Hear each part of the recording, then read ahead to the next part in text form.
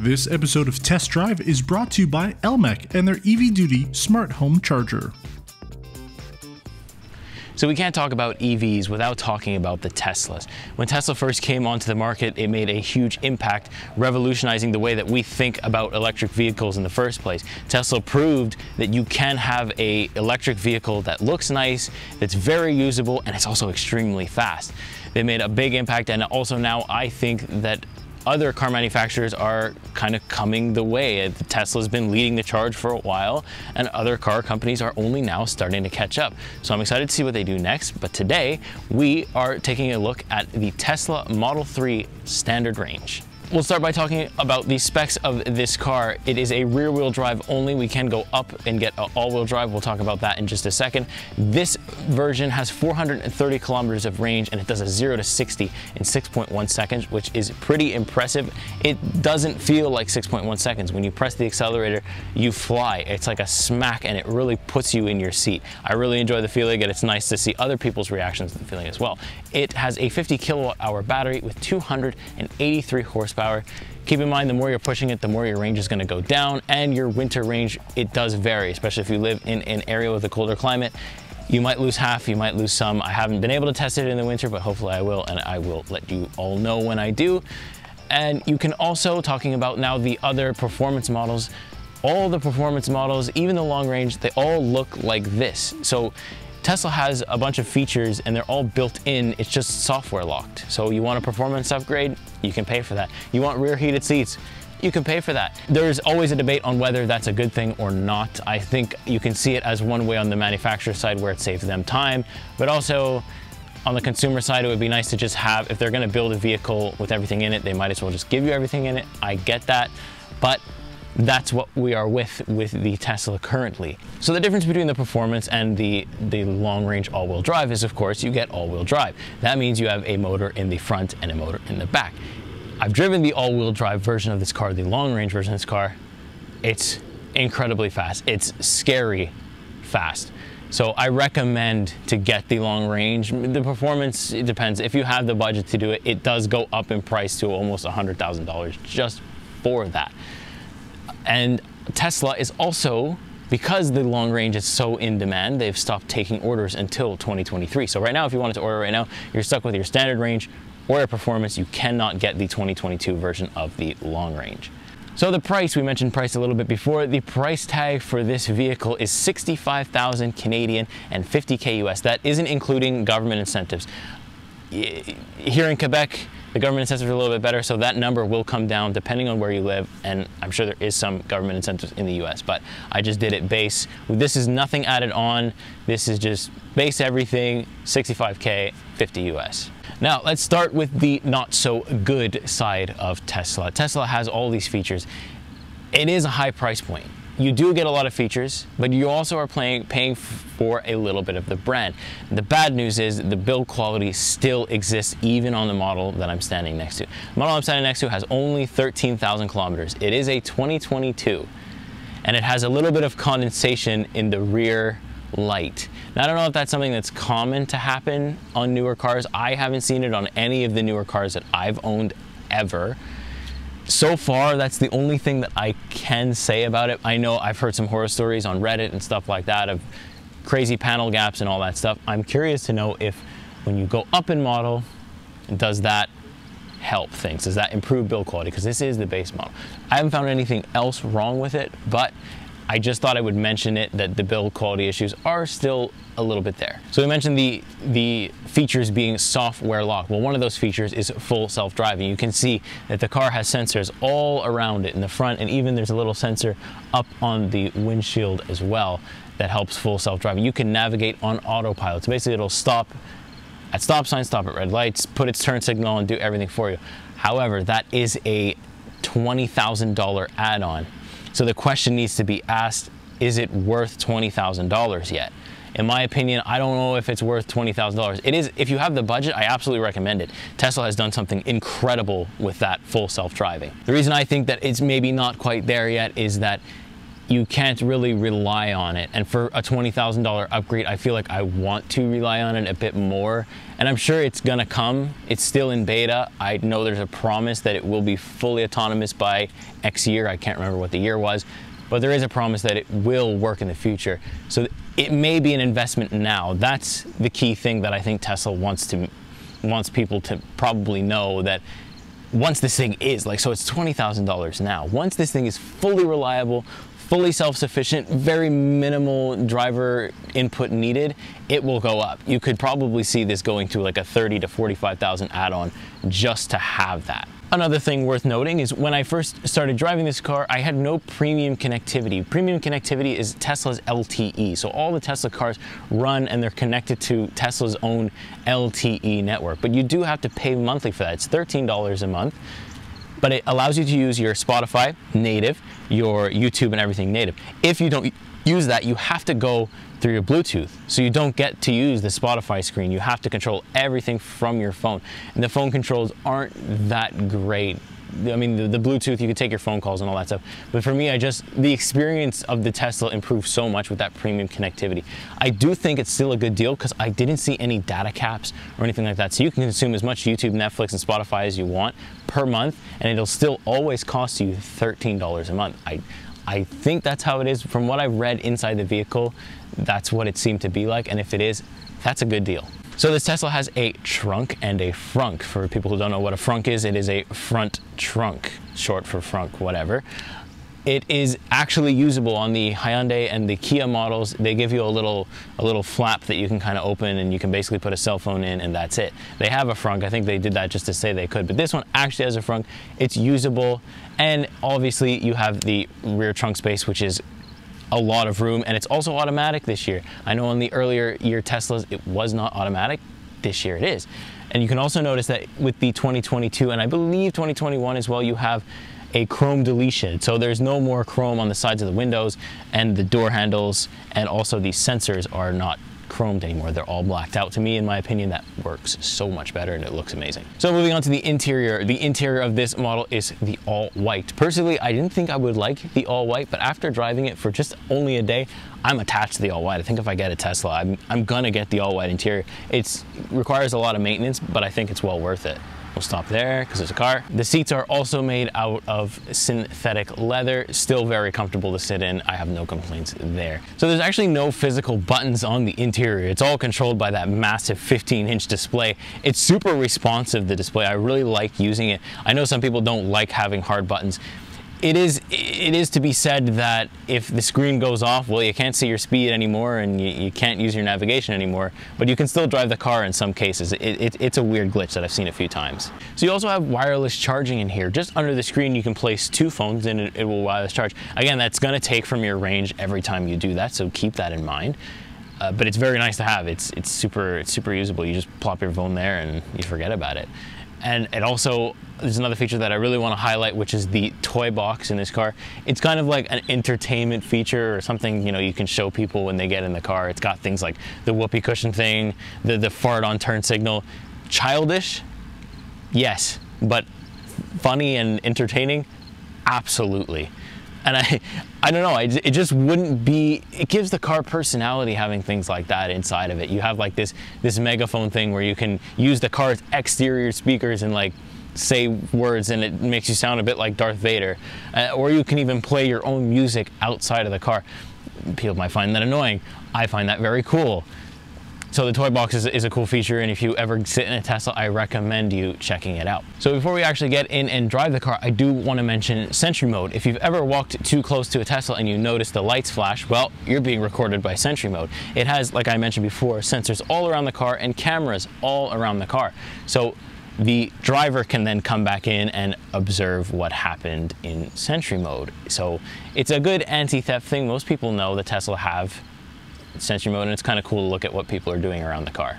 So that about does it for the interior and exterior showcases of this vehicle. Now let's take it on the road and see how the 2022 Tesla Model 3 standard range drives on the road.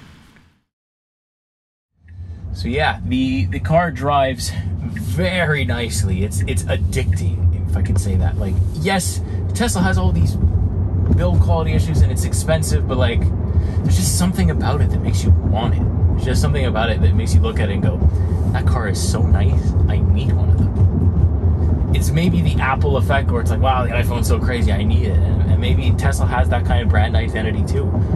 But it just drives so well. It's so easy to drive. This has one pedal driving. So as soon as I'm letting off the gas, it's actually putting uh, energy back into the battery, which is awesome. But it's also, I never have to touch the brake. It's just kind of glides to a complete stop, much like we saw on the Kia EV6 that had iPedal. I find Tesla's version of this, uh, you know, the, the one pedal driving, a little bit more smooth. It may be just because I wasn't used to the iPedal, but I just find this version, this Tesla's version of this, way more smoother. So the 0 to 60 in this car says 6.1 seconds, but when you press on the power, like that, holy moly, it feels like three seconds and I'm already at 100. It's just absolutely insane. I don't know if Tesla's under, you know, under promising, over delivering. Uh, it really feels like that's exactly what they're doing because it's just insanity, complete and utter insanity when you press the pedal. And so this is the standard range. I can't imagine what the performance feels like. It probably feels like a, just an absolute punch in the face that puts you right in the back of the headrest. Because I mean, look at this.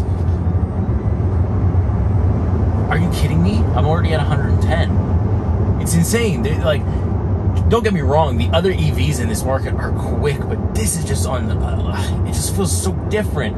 The acceleration just feels so pure. It's so smooth. So smooth. There's nothing like. Uh, there just isn't much that competes with it. Maybe the Porsche and stuff like that. I'd really like to try one of those, and and the Lucid as well. I'm sure does compete with it. But so far, in terms of my driving experience, that acceleration is addicting. Now this is a rear wheel drive only, so if you're in a colder climate, that may cause a problem for you if you have heavy snowfall. Again, I think it really is going to depend on how good your winter tires are. But it does have anti-slip, which kind of is a computer like a computer aid thing where it kind of helps you get out of get out, get stuck. If you're stuck in mud, get unstuck. If you're stuck in mud, stuck in snow, whatever. It should help you out. But if you have the budget, I'd recommend the all-wheel drive. However, you can't order it yet. When you can, I would recommend it because there is a four-wheel drive, and especially if you're in a colder climate, you want the extra range because you're going to lose some in the winter. And you also don't want to get stuck. You want four-wheel drive. You want to be able to kind of cut through any type of snow. The vehicle is very heavy because of the battery, so you kind of have an advantage there, even with the base rear-wheel drive. But I would recommend getting the all-wheel drive, especially for colder climates. I also want to mention Tesla's supercharger network. So far, other companies haven't really caught up in that game. They're maybe not as reliable. As far as I've seen, just by looking on Reddit and also looking at it myself, doing some research just in the car, you can pretty much drive across Canada, at least the main parts of Canada, in a Tesla and kind of be okay with the supercharger network. I'm not sure how easy it is to do it with other EVs that don't use Tesla supercharging. I know Tesla has promised to enable other EVs to use this supercharger network, which will change that game. And I have immense respect for Tesla doing that. They could literally just lock it to their Tesla cars and that's it, and nobody could say anything about it. But the fact that they're opening it, hopefully, this is correct information they're opening it to other EVs is huge and it'll help the EV market as a whole. I did also just try to charge the car just based like on just a normal wall outlet. I had the car on charge last night for probably about 12 hours and I probably got 25% of battery. I don't know, you can't really complain about that. Yes, it is extremely slow, but at the same time, you still get some kilometers back that, you know, you're not paying for a supercharger. Obviously, paying for a supercharger is not even as close as it would be the price of paying for a full tank of gas. Probably you can get like 400 kilometers of range for probably about like 15 to 20 dollars, where a full tank of gas is 600 kilometers costs 60 dollars. The difference is crazy. I really feel like the infotainment in this car requires a whole video itself. There's just so much because everything is controlled. I, almost feel like sometimes when I'm using the infotainment, I'm literally just driving a computer with four wheels. It also has the climate control. The climate control is very cool. It brings up like this this white background where you can you can see exactly where your airflow is going. It's very, very cool. It's a very cool visual. The touchscreen, like I said in the beginning, is so, so responsive. I haven't had any lag, no glitches at all in the touchscreen, no software glitches. The only slight glitches I had was when I was using the autopilot feature. The autopilot feature is very cool and extremely useful for doing long trips. So if I was saying to travel from Montreal to Toronto, I would probably be on autopilot like 75% of the time. It's just so good. Sometimes it does disengage because I can't find the lines. I you can blame that on terrible Quebec roads. You know, sometimes I can't even see the lines. I can't really blame the computer for not recognizing it. But other than that, it's been super stable and pretty reliable. It's it is scary to let the computer kind of take a curve in it, but the it's incredible to watch the the steering wheel move and go through corners. It's just it's cool. It's cool and it doesn't get old. That's the thing. It doesn't get old and it's very very useful. The autopilot feature is very very useful. Like I mentioned in the beginning, you can get full self drive for full self driving for navigation on autopilot, but it is a twenty thousand dollar add on and there is the question to be asked is that worth it yet? And also keep in mind, it will go up when it really is fully reliable, when it's fully self driving, that's going to go up that price. So if you think it's worth it now and you have the 20K extra, why not? I would if I had the 20K extra. You can literally summon the car from your phone. It's incredible. Being having a background in technology and, and working with software and stuff like that, what Tesla has been able to achieve in this vehicle is it's incredible. It, it, that's all it is. It's just they've changed the way that we look at EVs. Before the Tesla came out, I don't think I would have ever wanted an EV. And now I'm considering all these other EVs because they're just all so good. People say that EVs, a lot of EVs drive the same. I don't think so.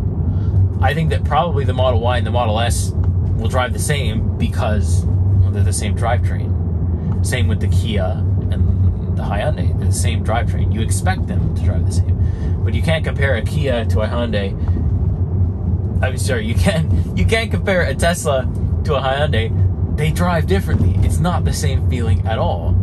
I'd say that Tesla's kind of more entered this luxury EV state. They do need to fix their to, to truly be the luxury electric vehicle like I think maybe they want to be, you need to fix your build quality issues. You can't charge $65,000 for a car and there's condensation or there's panel gaps or you, you just can't. You have to you have to rein that in. And I think they're trying their best. I mean, they're not on the same level like we mentioned before. The steering wheel of this car also feels super, super good. I always keep it in sport. I'm a fan of tight steering, but you have different options. You have your chill mode, you have your standard, you know, driving mode where the steering wheel is a little loose. You have your sport, you have your comfort, you have all those different options. But I like to keep it in sport mode with the standard. This this car has a sport steering, but it does not have a sport acceleration. I think you can purchase the performance upgrade. I I couldn't see it in the like the options to buy it, so that you're possibly not able to. But maybe on other versions you can performance like purchase a performance upgrade that you can actually change it to like a, a high deployment setting. This just has a standard and a chill mode. The chill mode, you just kind of have to press the gas a little bit more to get that instant torque. But it's still very good to have. And the chill mode, I'm pretty sure, also saves the battery a little bit too. So why not have it? Another interesting thing is you'll notice that the glove box actually has no button inside here. You literally just press a button in the infotainment and the glove box opens, and then you have to manually close it. They haven't added the feature to, to automatically close the glove box, but it's not out of the realm of possibilities with Tesla. It really isn't. Also, I noticed too on this year version, they kind of done away with the piano black. They listened to their customers, which is nice to see, and they've done away with the fingerprinty piano black. Nobody liked it.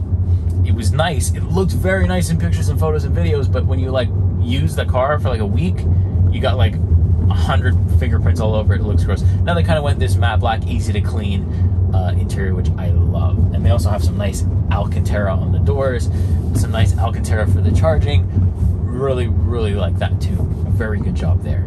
I'm just driving through like corners and stuff, and it's just like I got so much confidence that it's just gonna hold because there's weight. I'm assuming there's just it's the weight that makes you feel that way. That when you're when you want to throw it into a corner, you just you just can and it's just gonna hold even at big speeds. Like, I don't think I haven't seen too many Teslas drift. I know I think one of them has a drift mode, if I'm correct. I'm not not 100 percent sure, but I don't think you would really want to drift a Tesla. There's not really a reason. It's just kind of fast and cool.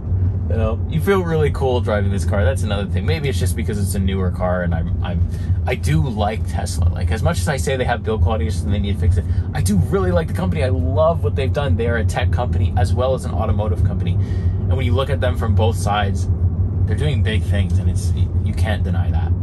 So I think that's gonna do it. I can continue on this car, but I don't think I should because this video will be three hours and nobody wants to hear anybody talk for that a length of time. So I do recommend getting this car. I do recommend getting the all-wheel drive range, long range, if you can, just for the range purposes, especially if you live in colder climate, like I mentioned, you really want to do spring for it. But if you're only have the budget for the base model, you will not be disappointed. Don't get it twisted. You will be very happy, even if you can get only a base model Tesla. All the features are still there. They're locked, however, to software, but they can be unlocked, I'm sure, in the future. So it's a really cool car. Just this, I've ha- I'm having so much fun, and I don't want it to end. It's going to be a sad time when I have to give this car back. So yeah, go out if you have a chance to test drive it. I definitely recommend you do it, and just pick a safe area and put the throttle down, and you'll see exactly what I'm talking about. It's hard to describe. You don't understand it until you've lived it give it a shot for yourself and let me know what you think in the comments. Hopefully, I'm going to be able to do something a little bit more consistent on the PRN channel. That is my goal, however. Uh, we'll see how things work out. So hopefully you'll see more of me. Hopefully you enjoy me. Leave a comment, leave a like, and also make sure you subscribe to PRN. You can find me at Technically Cars on YouTube. I'm trying to grow my channel too. I do more POV stuff, so I'll have this car on there with the POV view. So kind of kind of interesting view. So if you want to check that out, I'm also on Instagram, TikTok, technically underscore cars. You can find me anywhere. So leave a comment. Let me and Niall know what you think about the Tesla. I want to know people's stories. I want to know people's horror stories. I want to know everything. I want to know how much you hate the car and how much you love the car because I do know people love to hate this car. So let me know in the comments. And if you like, you want to see more, leave a like. It really helps helps the video out in general and do us a big favor and encourage us to keep going. So hopefully you'll see me again on the Pure channel. Um, but that's going to do it for this one. I hope you enjoyed, and we'll see you next time. Take care.